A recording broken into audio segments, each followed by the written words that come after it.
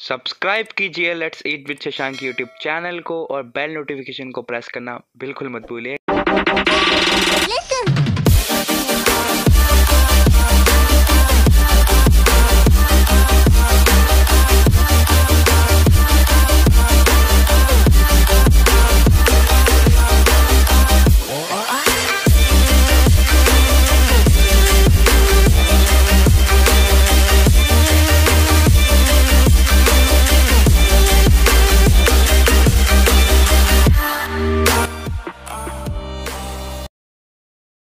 Yo what is a beautiful people क्या हालचाल आप सभी के? मैं आपका अपना शशांक बिरतर आ चुका हूँ एक और नई वीडियो के साथ। तो आज ऋषि भाई हम कहाँ चलेंगे भाई साहब अब अपन आए हैं आज मोमोज खाने पता है? और मालूम इंदौर में अगर मेरे को कभी भी मोमोज खाने की इच्छा होती थी ना पता है शशांक? मैं कहाँ जाता था? सराफा सर वो अपने सरवटे की तरफ़ भी है। और क्या कहते हैं छप्पन बट हाँ। आज अपन ना साठ फीट तरफ़ आए हैं मोमोज खाने। अच्छा मैं तेरे क्वेश्चन पूछूँ? हाँ। तूने मैक्सिमम कितने रुपए के मोमोज खाए होंगे बता? वही कुछ बीस पच्चीस रुपये पता है यहाँ पे ना दस रुपये में छः मोमोज मिलते हैं।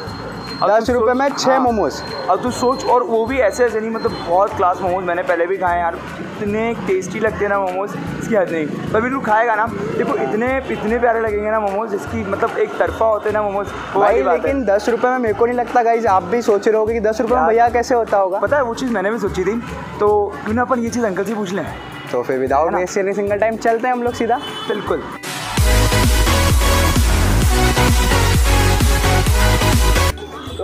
हमारे साथ खड़े हैं इस दुकान के ओनर सबसे पहले भैया नाम बताइए आपका क्या नाम है? मेरा नाम सूरज कश्यप। कब से आप काम कर रहे हैं? मेरे को यहाँ पे एक साल हो गया काम करते करते। एक साल हो गया है। और कैसा का रिस्पॉन्स आ रहा है यहाँ पर? सर सही चल रही है और क्या? क्या क्या बेचते हो आप? मोमोज फिंगर नू, नू, नूडल्स। और? मंचूरियन। तो जैसे लॉकडाउन लगा था तो कितना ज़्यादा अफेक्ट हुआ अपने बिज़नेस पे इस चीज़ का? बहुत सबसे ज़्यादा फेवरेट हुआ। जैसा कि भैया आपने ये लिखा है कि दस रुपये में मोमोज मिलते हैं तो इतने सस्ते में हो जाता है आपका क्या? हाँ जी सर हो जाता है। इसीलिए ये सस्ते इसीलिए रखे थे सर कोई महँगे रखे तो कोई आए नहीं गया। इसीलिए गाइस आप देख सकते हैं। ऋषि भाई थोड़ा दिखा दो।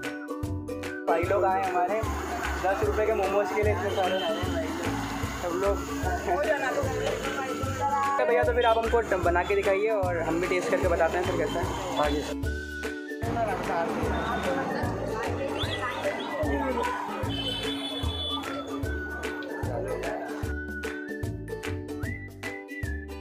दोस्तों आप देख सकते हैं कितनी अच्छी क्वांटिटी है ये। दस रुपये के हिसाब से तो मेरे को क्वालिटी में कोई कॉम्प्रोमाइज़ नहीं लग रहा है और बहुत अच्छी तरीके से कंसिस्टेंसी भी आप देखोगे तो बहुत ज़्यादा टेस्टी दिख रहे हैं। तो मैं ज़रूर रिकमेंड करूँगा कि आप इधर आइए और बाकी मैं गूगल लोकेशन सब डाल दूँगा। डिस्क्रिप्शन में तो आप जाके वहाँ से भी चेकआउट कर सकते हैं। ये लो ये गई भाई।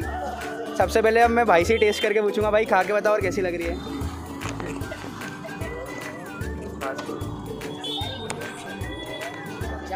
हाँ? अच्छा टेस्टी है। कब से खा रहा है भैया तू? मैं तो जब से लगा ठेला। अच्छा। कैसा लगता है भैया का नेचर नेचर भी बहुत अच्छा है टेस्ट भी बहुत अच्छा है। गाइस आप देख सकते हैं कितने सारे भैया के पास सारे बच्चे ही दिखेंगे आपको जितने भी है मतलब भैया बच्चों के बहुत खास हैं। तो गाइस सबसे पहले तो मैं आपको इसकी क्वांटिटी दिखाना चाहूँगा कि भैया ने मात्र दस रुपये में छः मोमोज हमको दिए जिसकी क्वांटिटी लगभग अच्छी खासी है। तो अगर आप ये खा लोगे तो आपका थोड़ा बहुत पेट भर सकता है क्योंकि इतने में मेरे को नहीं लगता किसी का पेट भरेगा तो मैं झूठ नहीं बोलूँगा। बट हाँ और मैं आपको सबसे पहले इसकी स्टफिंग दिखा देता हूँ। वही स्टफिंग जो मोमोज़ की होती है, पत्ता गोभी वगैरह और ये मैदे की स्टफिंग आप देख सकते हो। तो मैं टेस्ट करके बताता हूँ सबसे पहले तो। गाइज़ आप एग्री करोगे मोमोज़ के साथ रेड चटनी खाने का ही मज़ा है। अगर आप मियोनीस वगैरह मेरे को नहीं अच्छा लगता तो मैं टेस्ट करके बताता हूँ। हम्म। और गर्म है। मैं सबसे पहले आपको मोमोज़ के बारे में बताता हूँ जो भैया ने ऊपर से मसाले आप देख पा रहे होंगे। सारे मसाले यूज़ करे उन सबका टेस्ट बहुत अच्छी तरीके से आ रहा है। प्रॉपरली फ्राइड है जो क्रिस्पी आ रहा है फ्राइड की वजह से बहुत ज़्यादा क्रिस्पी लग रहे हैं ये। और अगर आप चटनी की बात करते हैं चटनी ज़्यादा स्पाइसी नहीं है नहीं, मतलब ज़्यादा स्पाइसी नहीं है तो मैं ज़रूर रिकमेंड करूँगा कि आप इधर आइए और ज़रूर ट्राई की क्योंकि इतने कम रेट में मेरे को नहीं लगता कि बहुत सारी जगह मिलते होंगे दस रुपये के छः मोमोज़।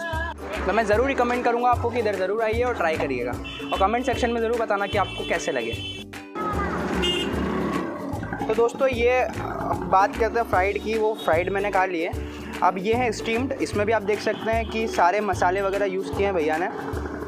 और मैं ट्राई करके बताता हूँ।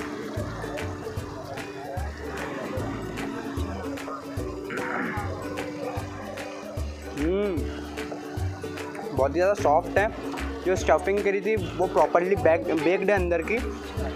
सारे मसालों का टेस्ट बहुत अच्छी तरीके से आ रहा है। तो भैया के लिए एक बिग थम्स अप तो भाई साहब, बहुत टाइम बाद स्टीम वाले खा रहा हूँ। मतलब कि फ्राइड खाते रहे तो मेरे को बेसिकली ज़्यादा अच्छे लगते हैं फ्राइड बट आज ना, बहुत टाइम बाद स्टीम वाले खा रहा हूँ। तो देखता हूँ कि भैया वाले कैसे हैं steam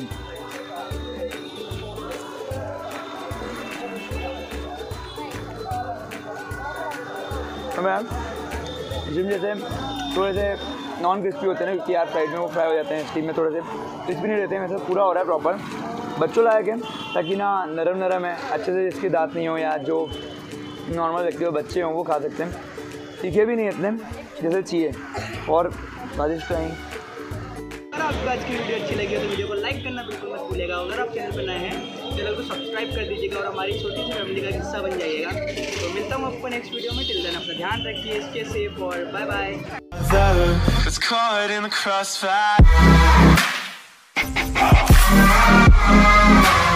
caught in the crossfire.